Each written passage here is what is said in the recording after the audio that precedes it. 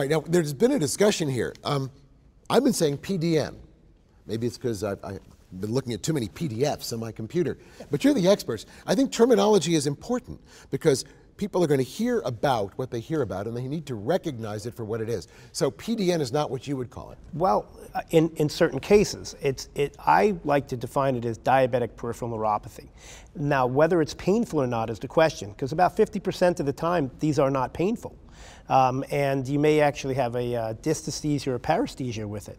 Um, so when I look at treating it from, uh, with an, from an analgesic standpoint, then it's painful diabetic peripheral neuropathy. Um, so that may be where the disconnect comes. PDPN. Right. Pain, now, do you guys call it something else? I we agree, agree on Joe. a term? That's pretty much what I call it. Painful diabetic peripheral neuropathy. Yeah, you know, in general, they call it diabetic peripheral neuropathy or DPN. But Right. like Joe says, when it becomes painful, we add the P in front for the. I mean, where, where I work and where I trained, um, diabetic peripheral neuropathy is usually uh, anesthetic. In other words, that's why we see all the, the peripheral ulcers and things where they get they get injured because they can't feel. This is this is distinct from that, right?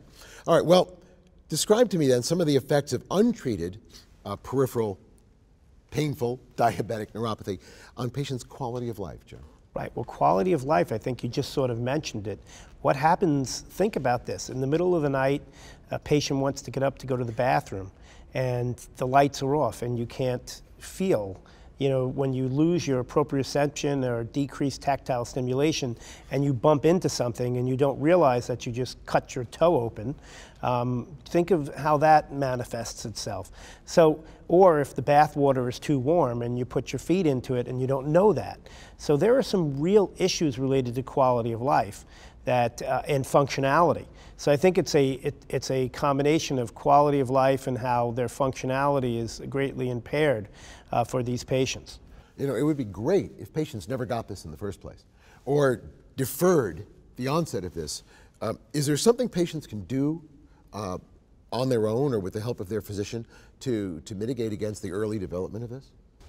I would just suggest control your diabetes well. At good, tight control of diabetes, take care of your limbs, and um, I think a vascular evaluation is also in order to make sure that, that there's good perfusion to the distal extremity. Um, but I think diabetic control is what it comes down to. So take your meds, take them right. Good, your diet. good glycemic control is extremely important, and then I think you know we also I think would agree that, as Christopher said, the cardiovascular system, particularly control of uh, lipids uh, and uh, blood pressure, et cetera, is extremely important in these patients. All right. You know, I'll, I'll just add real quick that I've been counseling my patients from a nutritional standpoint.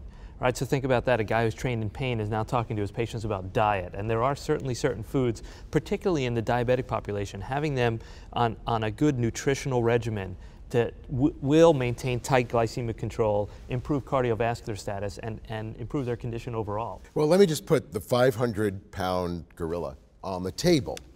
Do we know? I mean, this all sounds great, right? It's intuitively wonderful. Do you know for sure that tight glycemic control will delay the onset of this? Not at all. I just want to be sure we all agree. I think that the, that there's evidence that leads us to believe that's true from the neurophysiological standpoint and how uh, this XX sugar in the blood is uh, binding or, or affecting the nerves themselves. I think the bigger problem is this.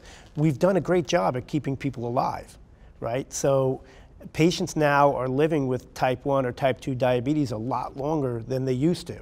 And we can expect that to increase. Uh, here in the United States uh, in 2020, we believe we'll have anywhere between 12 to 16 percent increase in the population over the age of 65. As I mentioned, Christopher and I just came back from Singapore, where in 2040, it's expected to have a, two, a 359% increase in the patient population over the age of 65. So we're doing a better job at keeping these people alive. And this is one of the unfortunate sequelae when they don't have the best glycemic control.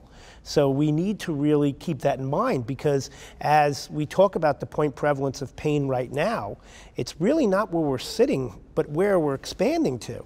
And with older populations, with advances in medical care, with people surviving cancer, let's say, uh, there are other neuropathic conditions like chemotherapy-induced neuropathies, which are, again, in the sort of same wheelhouse. So we really need to, um, for the diabetic patient, again, treat them in a multidisciplinary uh, manner. So we're victims of our own success. That's in true many in a sense. Now, Jeff, walk me through this.